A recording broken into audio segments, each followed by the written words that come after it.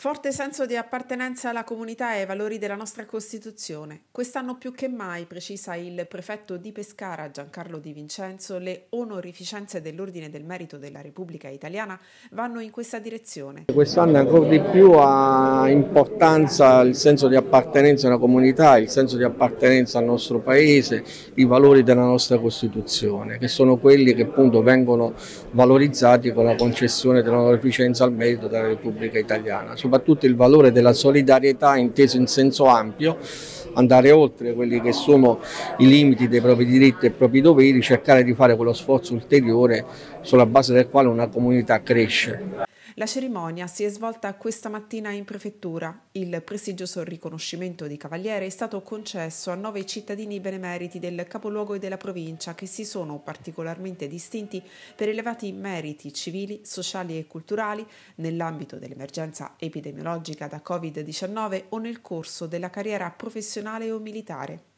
Ecco i premiati. Antonio Cardone, sottotenente del Corpo della Guardia di Finanza residente a Pescara. Leonardo Cursio, appuntato, scelto dell'Arma dei Carabinieri, residente a Manopello, in provincia di Pescara. Nicola Di Ciocco, maggiore dell'Arma dei Carabinieri, residente a Pescara. Giuseppe Giancola, maresciallo maggiore dell'Arma dei Carabinieri, residente a Montesilvano. Carla Leone, coordinatrice della Croce Angolana Onlus, residente a Città Sant'Angelo.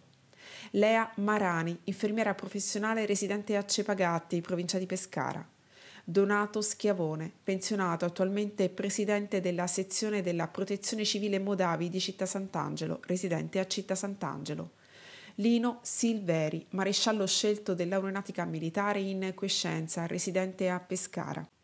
Angelo Tarquini, dipendente del Servizio Emergenze di Protezione Civile della Regione Abruzzo, residente a Pescara.